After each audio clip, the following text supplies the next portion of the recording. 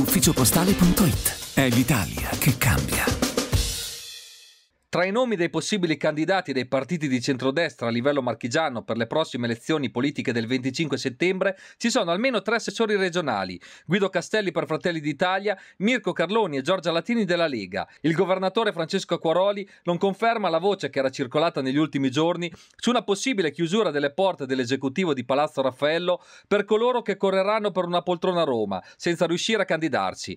Ma il messaggio che manda ai suoi assessori è comunque chiaro, aperto a parlare con tutti, ma il governo della regione resta la priorità. Sentiamolo. In, in, realtà ancora è tutto molto prematuro perché noi siamo concentrati sulla legge 13 che è una legge assolutamente prioritaria per la nostra regione che ridarà forza alla sanità nei territori e che ci consentirà di costruire le risposte che tanto sono attese e necessarie anche per eh, costruire un percorso eh, importante rispetto alla diminuzione degli accessi in pronti soccorso, al lancio delle case della salute, alla rigenerazione dei territori e dell'entroterra e di tutti i territori che sono rimasti senza medici di medicina generale. Quindi in questo contesto dove noi siamo molto concentrati concentrati sulla sanità e contiamo entro Ferragosto di chiudere in Consiglio regionale la legge 13, la riforma della legge 13, c'è una discussione che riguarda anche le elezioni politiche che nessuno di noi si aspettava potessero arrivare così presto.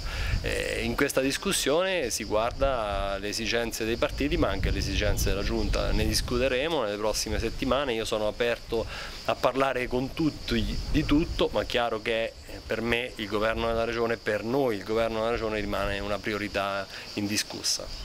Presidente Acquaroli, in vista del voto del 25 settembre, gli ultimi sondaggi danno Fratelli d'Italia al 25%. Ma guardi, io non guardo mai i sondaggi come lei sa, né quando sono favorevoli né quando non sono favorevoli. Io resto sempre concentrato sulle cose che dobbiamo fare perché secondo me eh, comunque l'importante della politica è riuscire a seguire le percezioni reali, le esigenze, le necessità. I sondaggi sono la cattura, la cattura di un momento, di un'opinione, di una sensazione istantanea che credo non debba appartenere al dibattito politico che invece ha la necessità di concentrarsi su talmente tante priorità e secondo me le forze che riusciranno a dare le risposte a queste priorità sicuramente, saranno sicuramente premiate dai cittadini.